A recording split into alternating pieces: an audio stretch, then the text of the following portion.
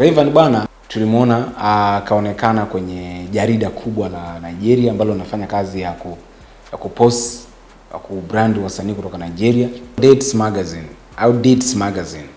Yes, this time around tumemwona msanii kutoka Tanzania ameonekana kwenye magazine hiyo ambayo ni Rayvanny. Kwanza tumpongeze sana Rayvanny. Rayvanny amefika stage ameset standard. Yaani kimataifa yeye amesha set standard. Yaani kuna vitu ambavyo wasanii wengi ngumu kuonekana, yeye anaenda. Ndio maana sinavyozungumza wasanii wende kimataifa, waga tunazungumza kimziki Lakini mimi naamini kwenye upande wa fashion na lifestyle huku watu wengi wamesahau, wasanii wengi hawataki kujiengage. Ndio maana unaona Raven anaweza kutumika kwenye magazine. Anajaribu kupenya katika kila sehemu. Kwa ni jambo zuri sana kwa msanii kutengeneza nafasi yake kimataifa nje ya mipaka ya Tanzania. Ni jambo zuri sana kwa sababu unajaribu kujitengeneza nje. Unajitengenezaje nje? Lazima kuna sehemu uguse pia. Tetema ndo imempeleka zaidi Rayvanny kimataifa. Rayvanny akubali, akatae na sio kwa ubaya. Huo ndio wimbo ambao ulimfungulia Rayvanny milango kimataifa, na Rayvanny hakuichezea hiyo nafasi, akafanya kolabo na Maluma tukaiona, akaendelea kuitumia hiyo nafasi, ingawa kuna namna kama karibu na Maluma umetoka. Ingekuwa ni mimi na maana Rayvanny tungemshauri atafute kolabo, yeye amshirikishe pia Maluma nyimbo nyingine zaidi ya Tetema. Sijajua kama ipo au haipo. So Rayvanny ameseti standard kimataifa, na ndio maana leo tukitaja wasanii wa kimataifa ambao wapo active msanii wa kimataifa ambao yuko active ni Diamond na Rayvanny tu. Hata tua zao wanazozifanya unaona kabisa ni wasanii ambao wanafahamika kule, wamesha seti standard, yani nao wame set standard. Diamond na Rayvanny ndio uko wasanii ambao wapo kimataifa. Hata wanatoka wanaenda wanafanya show nje tunaona, hata wanatoka wanafanya media tour nje tunaona, ni Diamond na Rayvanny wamesha set standard. Gepo kubwa sana kati yao na wasanii wengine wamesha seti pale. Kinachotakiwa kufanyika ni kazi. So hiyo nafasi sio rahisi, sio kila mtu anaweza. Ni vitu ambavyo wasanii wanawekeza muda wao na hela zao kwa ajili ya kuseti vile vitu, kwenda kuonekana kwenye magazine kubwa kama vile wanaweka, unapamba jarida lao, We- lazima uwe na impact, lazima uwe na face ya business. Huwezi kwenda kupamba jarida kubwa kama hiyo ambayo linapost wasanii wakubwa kutoka Nigeria, wewe ukaenda ukawekwa pale alafu waone huna impact. Never, hata kama unalipia. So Dates Magazine wameona kabisa Rayvanny sura yake ni biashara, anauzika, ni msanii mkubwa, msanii kafanya kazi na Maluma. Yaani huwezi kuchukulia ni simple tu, hata ukitajiwa, hata kama umjui Rayvanny, ukaambiwa bwana, ukafanya kazi na Maluma, Maluma? Na Nora Fatei, Nora Fatei, unaelewa? Yaani wewe mwenyewe kuna namna unashtuka. Anakuonyesha tu maklip anavyofanya show na Maluma Paris, anakuonyesha clip anavyofanya show Albania, wewe utasema yes, hii ni biashara. So huwezi kuset ile standard kama wewe ni kichwa maji tu, lazima uwe smart, lazima uzungukwe na watu smart, lazima Unanielewa? eh? Anakuonyesha kipande yuko grami kaitwa. Unashtuka. Msanii vipi? Even grami kaenda. Anakuonyesha clip. Anachukua tuzo ya bt Wewe mwenyewe unashtuka. Unasema what? Unaelewa? eh? Kabisa mwenyewe unashtuka. Unasema "Hmm, msanii mkubwa. So unaangalia kabisa hii sura ya biashara. So swali ambalo lazima wewe ujiulize, why Rayvanny? Kwa nini yeye kafika? Jua kuna namna. Jua hili ni biashara. Magazin kama zile haziwezi tu kulipwa kupamba jarida from nowhere tu watu wakaupambe. Wewe we nani? Lazima uwe marketable uwe biashara. Watu wanataka kufanya biashara. Hata kama umelipia. Yes kulipia kuna ubaya gani?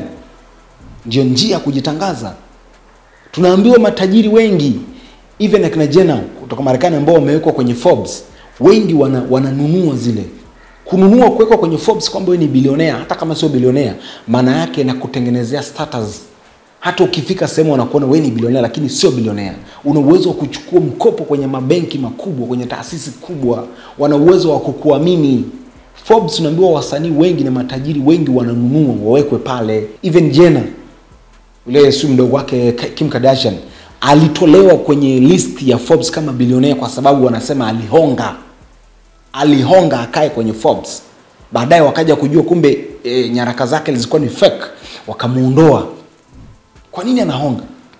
So mimi kuniambia Rayvanny kanunua kukaa pale, mimi nakucheka na kuona wewe hujui biashara, kwa sababu biashara ndio ilivyo. biashara ni wewe kujitafuta mimi sitaki kuamini kama Rayvanny kaonga. Mimi naamini kabisa Rayvanny ni biashara kwa sababu Rayvanny kachukua tuzo ya BET. Rayvanny ka, ka nominated uh, Grammy. Rayvanny kachukua BTV MTV, kachukua tuzo ya MTV EMA. Rayvanny kafanya kolabo na Maluma. Rayvanny sui ka, kaenda kuperform Albania. Rayvanny sui kafanya kolabo na wasanii wengi kutoka uh, kutoka France, kutoka wapi, kutoka kafanya kolabo na Nora Fatei. Yani mimi ukiniambia Rayvanny kama nitakuona wewe ni chizi. Wewe ujielewi kama ni rahisi kununua na wewe kanunue hiyo ndio formula ya maisha konseni yangu moja tu na Rayvanny You grow Rayvanny sio personal sio kwa ubaya tunajaribu kuchallengeana kama vijana. Tunataka kukuona tena kimziki. Kwa nini nasema tunataka kumwona tena kimziki? Nyimbo pekee ambayo imemtambulisha Rayvanny ni tetema. Nyimbo ambayo inafanya vizuri tetema. Miaka mitano imepita sasa hivi. Hauna wimbo levu ya tetema. Mi najua kutengeneza hits ni ngumu. Lakini at least tujaribu. Tupate nyimbo mbili ambazo zitatambulisha zaidi. Tetema ndio inafanya vizuri. Uongo mbaya. Tetema ndio hit kubwa nje ya mipaka ya tanzania kutoka kwa Rayvanny. Labda pepeta na Nora Fatei nitongoze naweza nikasema ndo kolabo ilikuwa kubwa nyingine akiwa na Diamond. Sawa lakini haijafika level ya tetema. Sasa Rayvanny challenge ulionayo my brother sio kubaya. mimi nahisi tunahitaji tutengeneze hiti nyingine level ya tetema. Kwa sababu tetema i think ni ya muda sana tunahitaji nyingine ngoma nyingine levo ya tetema. Mi najua una uwezo wa kufanya kolabo na wasanii wengi wakubwa. Tunahitaji hiti nyingine. Hii tutaizungumza sana. Hii tumeiongelea sana tetema. Tutazungumza sana. Tunahitaji kama tetema iliotufungulia milango hivi. Mi naamini tukifanya ngoma nyingine hiti kubwa itatufungulia milango zaidi. Wimbo nyingine kama teamo huwezi kuiondoa kwamba sio international hit. Huwezi teamo ni international hit. Lakini Rayvanny hakuwekeza kwenye kuifanya promo na kuifanyia even tour. Yani hapo ndo Rayvanny alifanya mistake. Bonge la ngoma hit kubwa sana. Lakini haijafika level ya tetema pia tukubaliane haijafika level ya tetema. Teamo haijafika level ya tetema lakini ni ngoma kubwa sana mpaka sasa hivi. Kwa nyimbo nyingine Rayvanny ulisha kutoa hiti wewe uli hukuzifanyia promo kiivo? Haukuzifanyia promo kiivo tetema ndio wimbo bora wa bongo flava wa muda wote. Tetema.